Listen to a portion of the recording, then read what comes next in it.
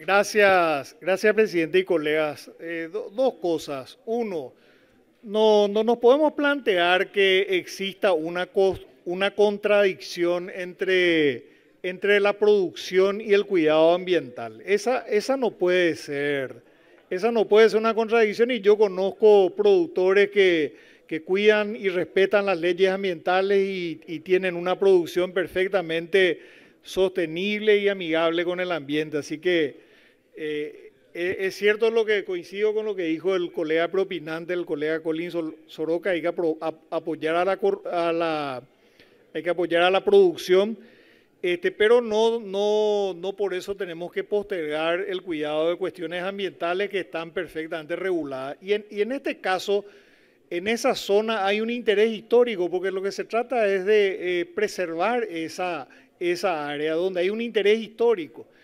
Y, creo que es muy importante que nosotros, eh, que nosotros cuidemos esas zonas, eh, esos sitios históricos como, como se hace en cualquier país. Fíjense que en, estos, en estas últimas semanas eh, se votó, por ejemplo, el tema de cantar el himno, se votó el tema del Panteón Nacional de los Héroes.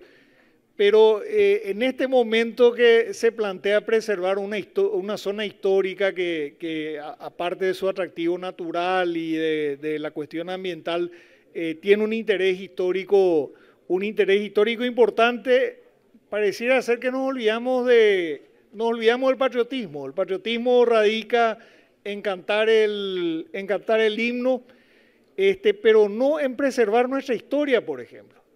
Yo, yo sinceramente hablando, eh, antes, antes, antes que votar esos proyectos donde, eh, por ejemplo, en vez de trasladar al Panteón de los Héroes o de hacer un nuevo mausoleo, hagamos estatuas de nuestras personas, hagamos monumentos. ¿Cuánto, ¿Cuándo fue la última vez que se hizo un monumento importante en este país?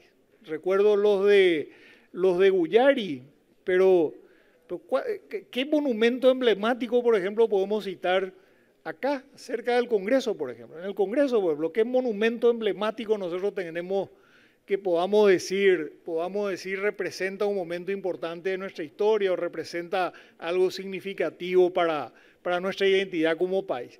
Entonces, eh, este proyecto, aparte del componente ambiental, yo por el lado histórico creo que se justifica plenamente. Y sí, probablemente, probablemente signifique eh, una zona, una zona, una pequeña zona menos de producción, pero habrá otras, habrá otras, se podrán encontrar otras.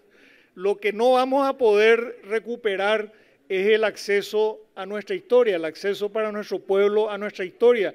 Y que, eh, y que la generación, más allá de cantar el himno una vez a la semana, este, las generaciones más jóvenes este, puedan tener acceso a la historia paraguaya. Eso, eh, eso, eh, eso no, tiene, no tiene solución si nosotros dejamos de preservar eh, los sitios históricos. Con estas palabras también me apoyo a la exposición de los colegas que se expresaron a favor del proyecto. Gracias, presidente.